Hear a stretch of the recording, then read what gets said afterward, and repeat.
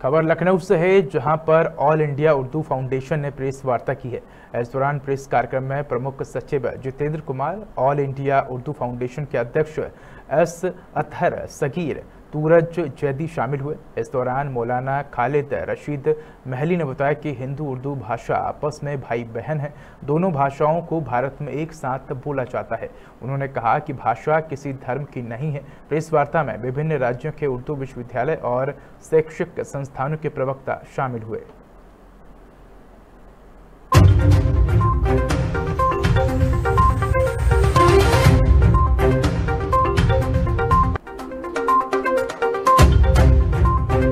Foundation of India की जानब से आज हमारे इस अदब तहजीब के शहर लखनऊ में इस उर्दू कॉन्फ्रेंस के इनका किया गया है। इसके लिए मैं तमाम मुंतजमीन को ऑर्गेनाइज़र्स को दिली मुबारकबाद पेश करता हूँ।